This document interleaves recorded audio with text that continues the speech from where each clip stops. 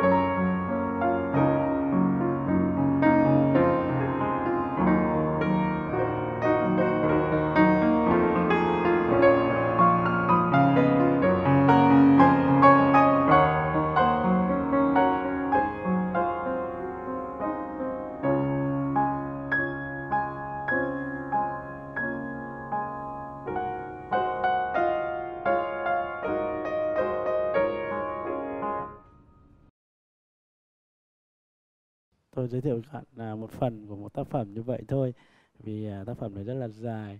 À, các bạn thấy đấy à, nó tự chơi được à, qua một cái sự cung cấp tín hiệu MIDI.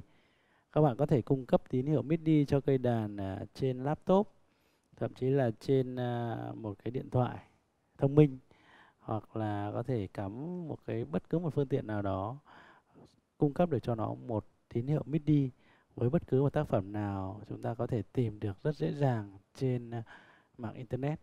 À, và cây đàn sẽ chơi các bạn nghe. À, điều đó sẽ rất là thú vị và sẽ tạo cho chúng ta luôn luôn có không khí âm nhạc âm nhạc bằng tiếng đàn thật trong căn nhà của các bạn.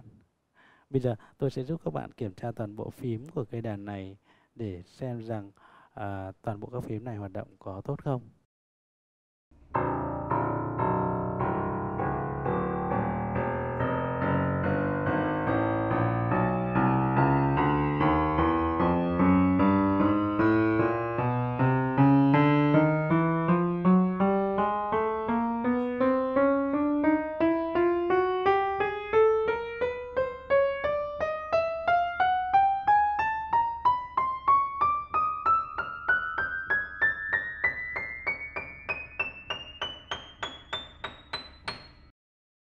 À, cây đàn này có series rất là cao như các bạn đã biết.